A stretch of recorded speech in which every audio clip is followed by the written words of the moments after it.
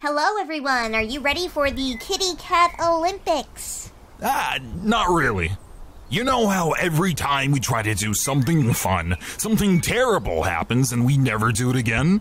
He's right. Remember ice hockey? That hasn't happened yet, hon. Oh, yeah. I forgot. Well, we're starting anyways, so go get your children and tell them it's time to fight for our entertainment. So, you want to start on three?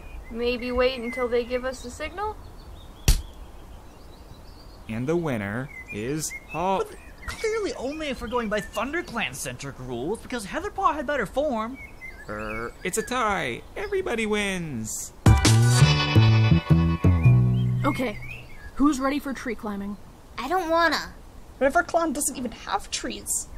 Maybe Shadow Clan should invade you and see if that's true, Dapplepaw. N- No, don't! I'm climbing! Why did you even sign up for this event, Cinderpaw? I don't know. Ah! Oaf.